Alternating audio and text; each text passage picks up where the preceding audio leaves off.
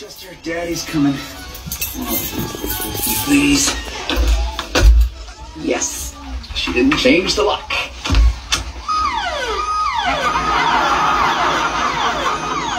But that's new. I like those. Skull earrings? Yeah, they're silver and they got ruby eyes. Okay, first of all, for eleven ninety five, those aren't rubies. You don't know that.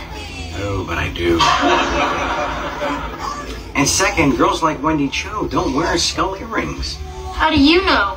She gets straight A's, right? She plays violin. She's also the captain of the math team. Exactly. So you see my point.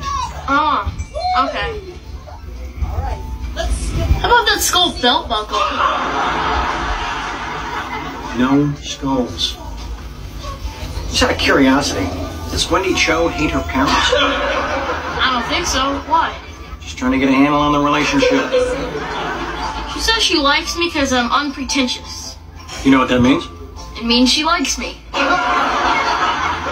Yeah. Okay. So what do you want this gift to say? Uh, happy birthday?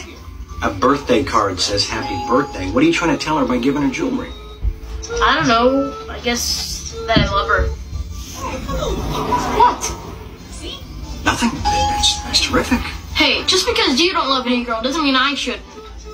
Excuse me, but I have loved many girls, and many girls have loved me. That's not love, it's just sex.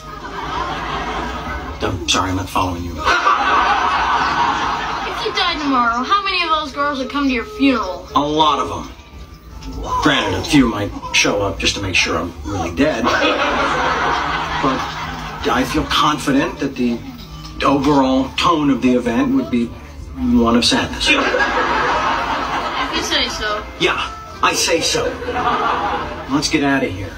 I haven't picked out a gift yet. Then get her the stupid skull earrings. But you said she wouldn't like them. Who do I know? Nobody loves me. Nobody's coming to my funeral. Whoa, where'd that come from? Here. About this gold heart necklace? It's kinda expensive. You want the best, Jake? You gotta pay for it. Yeah, but $39? Yeah, I love her and everything. Tell you what, if it means we can get out of here quicker, I'll front you the difference. I don't know. What do you mean you don't know? I'm offering you a great deal. Yeah, but you always say if it sounds too good to be true, it probably is. All right. How about if I pay for the whole thing? That sounds even better. So no. Come on, Brainiac.